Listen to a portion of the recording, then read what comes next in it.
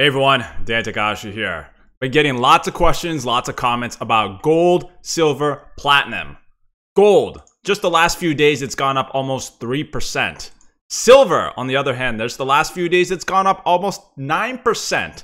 Platinum has gone up a little bit as well. What's going on here with these precious metals? Just two weeks ago, I gave out a message saying short these just for the short term. Long term, continue to hold, buy, but short term, you could short. What do I think now? What is the update? Today, I'm going to try to summarize this in a 10 minute video on what I think about these precious metals, both long term and short term, and with the impact of all this news that's happened during the last week with Prime Minister Abe resigning and the new Fed's inflation policy. So, let's get started. For the, but before I get started, for those of you new viewers and subscribers, my name is Dan. Please see the description area below. Former hedge fund guy, former Wall Street guy, traveled the world, came back to Tokyo, Japan just recently and started a YouTube channel in Japanese, uh, Twitter, LinkedIn, also uh, everything for the first time. And just started this English channel actually only two and a half months ago. So uh, hopefully you will press subscribe below to the button and follow me going forward. Uh, so let's get started. Today's theme I want to break up into three main topics. Uh, number one, just a review of what is going on here. Uh, there's a lot going on, actually. Uh, so, in terms of why this news is impacting, uh, you know, with Abe resigning and the Fed's new policy. I, I did two videos on both of this, but I'm going to summarize it again, and I'll put it at the very end screen so you can watch it. But why this is impacting the precious metals? What does this have to do with the precious metals, and why is it impacting the price so much? Number two, let's do an analysis today a little bit more short term. Where is the price going? And then number three, what's my recommendation? Do I recommend you stick with this short, short term, short term, short? There's a double short. Or do I recommend you just get out and now you start buying short term as well? This is a short term analysis, not long term. So let's get started, guys. First and foremost, there's a lot of news out just the last one week. This has been actually quite a big news week for the summer. Usually summers are, are pretty quiet, but this has been quite big. Uh, one of the largest political news in the world is Prime Minister Abe, the longest serving prime minister since the end of the Second World War, has resigned and stepped down. He was in charge and he was the one who promulgated Abenomics. Now, this is a quite uh, reflationary policy, and this has helped move the dollar yen up from it was around uh, 80 uh, to roughly now it went up to you know 105 110 level at one point it was actually 125 uh, this is a very reflationary policy meaning trying to uh, decrease the value of the yen to other currencies by printing more and more money and by him resigning it put a lot of pressure on people to sell the dollar yen. That's right, the dollar yen. And as we saw, I did a video on this before, there was a huge move down on August 28th uh, when Abe's prime minister uh, resignation was announced. And this is a massive, what's called a bearish engulfing candle. Uh, just zooming out here, this is a massive bearish engulfing candle. Now it's started to tick up a little bit, but this put a lot of pressure down as a lot of investors were, uh, have been, for the past eight eight years, eight and a half years actually, since Abe has uh, come into power, been betting on Abenomics by uh, buying Japanese stocks, but also buying the dollar yen, as in uh, betting on the yen to further uh, decrease versus the dollar. So people were taking their positions off massively. And this put pressure on the US dollar to be sold because the US dollar yen is one of the largest currency pairs in the world. So when this goes down, it puts pressure overall on the DXY index. This is the uh, dollar index. This is again the dollar on the numerator, on the denominator, it is the euro, the yen, the Swiss franc, the pound, and the Swedish krona, I believe. I believe it's those five. So the, the whole basket went down. Basically, what happened was with this Abe news, there was a lot of pressure to sell the dollar. Why? It's the summer market. It's lulls, summer lows. Uh, summer lulls, as you say. Volumes are very low. A lot of people are on vacation. So as a result, when there's massive news out, and this is big news, big, big political news that sells the dollar yen, a lot of algos around the world will move together to sell the dollar.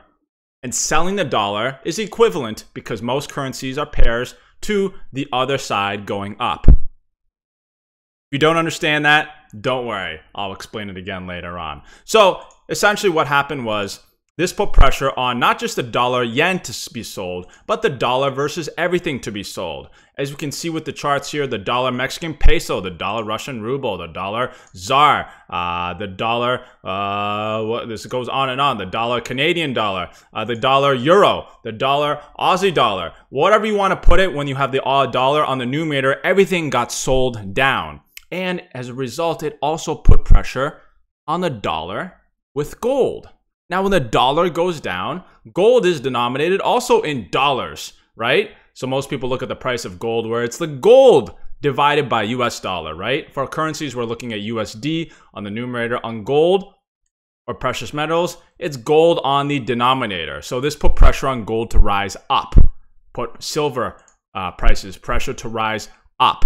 Not as actually much on silver, interestingly.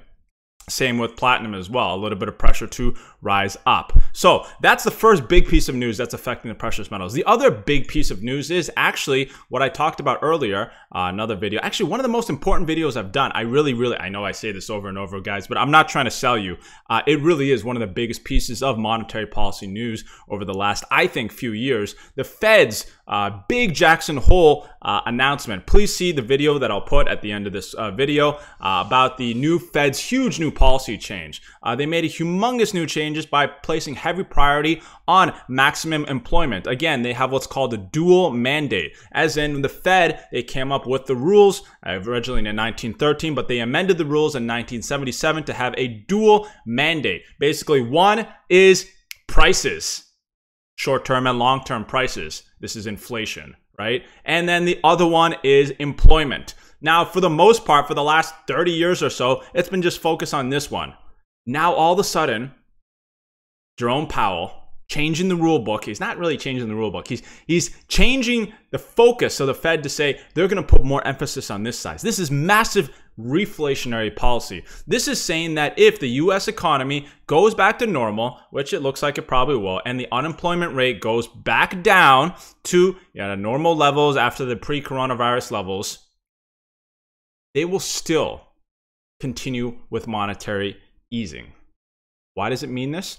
It means because they're going to be placing emphasis on unemployment levels, but uh, they're going to be doing it on a assessment level, not a sort of uh, deviation level. Uh, what does this mean? Uh, you guys, again, please watch my other video on this, but it basically means that they will not just put in new monetary stimulus when unemployment rate shoots up when things are bad. They will also do it based on their predictions, based on assessment. This is a very big difference. Just predicting that things may go bad, and they now have an excuse to put in more money. Uh, more money to the pedal, as they say. So, pushing for more inflationary policy. So, this is very, very inflationary. And again, inflationary and meaning putting further pressure to sell the US dollar. So again, this also puts pressure on DXY to go down. So both of these events happened two days in a row. The Fed's announcement on the 27th and then Abe's resignation is on the 28th. These two massive events are having an effect to sell the US dollar, which in tandem puts pressure to go up on precious metals such as gold, silver, platinum. Okay, now let's get into the second part of the video. What's going to happen to the prices going forward? Let's take a look at the charts and let's take a look at the positioning. So, first and foremost, as a review, guys, this is short-term analysis. Uh, most of the time, I recommend doing longer term investments, and I've been always recommending buy gold, silver, platinum for longer term. This is very separate from short term. I recommend you doing both short term and long term in different brokerage accounts, different portfolios. So short-term analysis, let's look at gold prices in the very beginning. What's going to happen with the gold price? Well, first and foremost, looking at this, the MACD has now crossed over. Uh, I'm using the original MACD that I used, the original MACD parameters, which was 818.6, because that's originally what I said. Uh, I've been using, and I want to stick with the same parameters to stay disciplined. When originally I recommended people to start buying when it broke this 1770 level, it was based on the same MACD settings, so I want to stick with this. And once it broke out, I made a huge move higher, and I recommended to sell. This is, again, short-term analysis, not long-term, guys. Long-term, I recommend you hold on to these babies for as long as you can because I believe, yes, the prices of these precious metals will shoot up. But short term analysis, you do separately. Again, please watch my videos, short term, long term, in the description area if you don't know what I'm talking about. So, And I recommend to sell most of it right here, basically because the Bollinger Band started to bust out here. It started to get very, very high. Uh, and then since then, I actually started to recommend uh, when it went down here, when it went back up, right around here, I started saying, okay, this looks kind of interesting as the MACD is going down, and I recommended to actually short silver right around here. Why silver instead of gold? Mainly because it was still further away from its uh, moving average. Uh, I believe I was using 20 moving average. That's right, it still had not crossed through the 20 moving average, whereas gold, on the other hand, had already sort of crossed through the 20 moving average. Uh, so I thought silver was a more suitable candidate for selling, and I recommended to sell just a little bit of the futures, maybe SLV if you can find a good borrow fee. Now, looking right here at the charts, at SL1, the silver chart, and the gold chart, both of them right away we see with the same parameters, the MACD is now crossed. So right away, that has, has to make us disciplined to say, okay, the trend has potentially changed. Uh, so that's first off bat. What else do I see here? Um, in terms of chart, the gold chart here, this declining pattern here, uh, with this blue line that I put, it seems like it's trying to break out of it. Now, this is not a strong declining pattern. It's only one, two points. And now, you know, we don't know whether this is a third point or not because we don't know which direction it's going to go in. But as of right now, this declining pattern that was has been in place since August 7th, it seems like it's trying to bust out of the pattern potentially saying maybe the decline trend is over. Uh, we don't know. Looking at the silver chart here, this is a little bit more of a higher rise. Uh, note here, there's a little bit of a difference. Gold price is still uh, below its 20-day moving average, this purple line. Yet silver price is quite higher than the silver, uh, quite higher than the 20-day moving average. So there is there is a propensity to buy more silver than gold at the at the moment. We can see in the charts here. It's back actually close to its uh, recent highs. Uh, the other thing that I notice is the charts are a little bit different. Um, you know, yes, it's back at near highs. Uh, the charts are also a little bit different between with platinum as well. Platinum is also below its 20 day moving average, but this had an interesting head and shoulders, which I recommended to sell right around here, and it's just been sitting in a range. The MACD is also crossing. Interesting. Uh, I want to compare this with the DXY index, which is the dollar index. Now, I tweeted this the other day, my YouTube and Twitter this is actually crossed lower as well. So this is crossed lower at the same time that the gold, silver, and platinum MACD has crossed higher, uh, probably indicating that short term uh, there is a new trend for the dollar to go down and the precious metals to go up. Uh, so that's my first gut instinct is to say, hmm, yes, perhaps there is a sort of uh, reason here to uh, cut uh, some positions. However, however, guys, however, uh, I'm a little bit skeptical for a few reasons. One is the uh, positioning. Uh, what do I mean by positioning here? So usually when I look at positioning, I look at a lot of different positionings, but what I'm going to talk about right now is net uh, positioning based on COT reports. This is from the Commitment of Traders reports. Now, looking at the dollar positioning at the moment in the COT reports, right now I'm using a website called Tradingster. Looking at a five-year chart here, and I'm looking at asset manager positioning. I'm not not looking at dealers, not looking at leverage, not looking at non reports, not looking at other reports. It's near a five-year low for the dollar, meaning there's a lot of people selling the US dollars right now. It's very, very low. So yes, the dollar could continue to go down here. But I'm a little bit worried based on the fact that this is gone down so much. Again, this is a long-term chart. I know it's long-term analysis, but the positioning's quite quite low. And then also comparing this with, for example, the gold positioning. Uh, looking at gold positioning here. Sorry, guys, the internet is very, very slow right now. Gold positioning has been high for a while. Again, this is looking at the uh, net commitment and CFTC gold speculative net positions here. Uh, this has been high for a while here. So indicating gold is a little bit of a crowded long and the dollar is a little bit of a, I think, a crowded short. So that positioning combined with, you know, looking at positioning and other, you know, silver has been long for a long time. It's not crowded uh, probably indicating the reason why silver is still going up and outperforming. But it's been net long for a while now. Uh, looking at platinum here, Platinum, not showing anything really special. It's kind of neutral at the moment. So what stands out to me really is the gold positioning. It's been long for a while, and the dollar positioning has been, you know, been selling, been, been, been, uh, I think relatively historically undervalued at the moment. So I'm a little bit worried, even though the MACD is pointing in this direction for the dollar to sell off more and gold to go up higher. I'm a little bit reticent to get involved the other direction to buy gold and sell the dollar if that makes sense because positioning is just so extreme right now so a little bit hesitant at the moment um difficult to assess which direction things are going. very very hard so let's get to the third part, the last part of this video. Uh, what do you recommend, Dan? So as usual, guys, investing is and always will be self-responsibility. And again, sorry, guys, I'm repeating this over and over. I recommend you put the majority of your money into long-term investments. 70, 90% of your net worth, I can recommend you, put for a long-term investment portfolio. You uh, hold it for as long as you can for retirement, for etc. This is anything over one year. I recommend you hold it as long as possible, the Warren Buffett style. And long term, guys, as I've been saying since day one, gold, silver, platinum, Bitcoin. I've been holding these for a long time. Uh, before YouTube, I've been buying pretty uh, heavily since 2015. I like them. Please watch my uh, past videos on why I like them. And separately, I recommend you do short term investment in a separate account to raise your Sharpe ratio. Again, guys, if you don't know what I'm talking about, all the lingo that I'm talking about, it is in the description area. So please Look at the description area so you can see the past videos and what I'm talking about to how to maximize returns in your portfolio. So today what I'm talking about is purely short term, not long term. So in your short term portfolio, what do I recommend you do? Uh, first and foremost, this silver short that I started recommending right around mid-August, it's come to a small loss right now. I think you just cut it because I don't understand what's going on.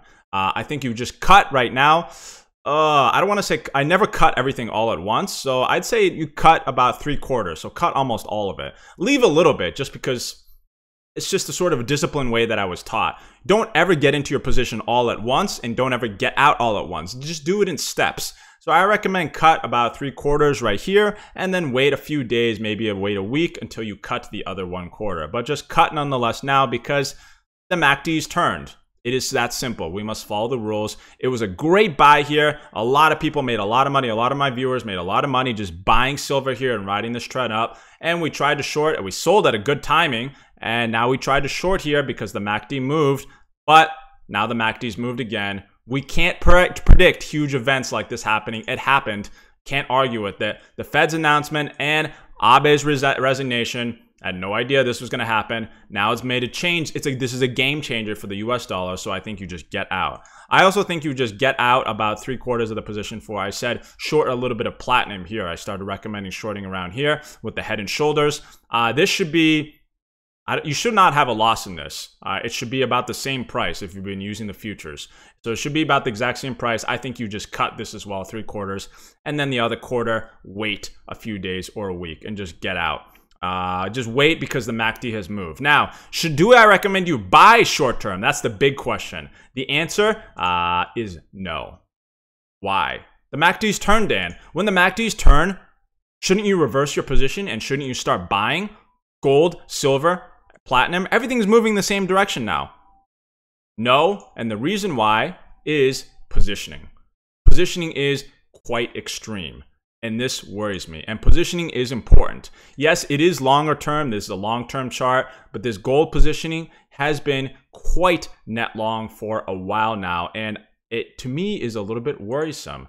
Uh, not only that, but the dollar positioning has been, it's historically very, very low right now. So, yes, there is a probability, of course, the MACD and the trend short term can continue going. Where we look at the charts here, and the US dollar may continue to go down here and down and down and down. And the gold may gold and silver prices may continue to go up and up and up. It's possible, but positioning is so extreme right now that I recommend you just do nothing at the moment short term. Stick with your long term portfolio, continue to hold the precious metals. Short term precious metals right now, I think it's a do nothing recommendation. So guys, uh, hopefully this video was useful. Please subscribe to my channel by pressing the button going forward. Would also very much appreciate your help if you recommend my channel to any of your family and friends. Thanks so much guys, and I hope you have a great day. Ciao.